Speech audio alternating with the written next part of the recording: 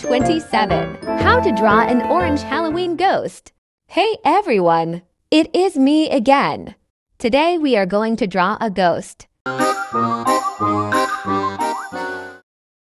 Let's get started. Draw the outline. First, start by drawing a curved line that looks like an upside down U with wavy lines at the bottom to form the ghost's body. Keep going. Complete the shape. Extend the wavy lines at the bottom to complete the ghost's body, making sure the lines connect smoothly. Good job. Color the ghost. Use an orange marker to fill in the entire body of the ghost.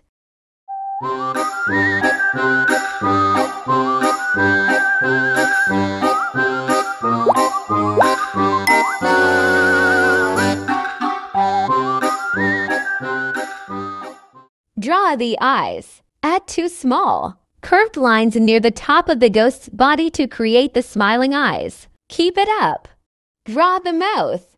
Below the eyes, draw a small U shape for the mouth. Add details. Finally, add two small curved lines on each side of the ghost's body to represent arms. Fantastic! You've got a cute ghost drawing ready for some Halloween fun. Feel like trying another one. See you later, friends.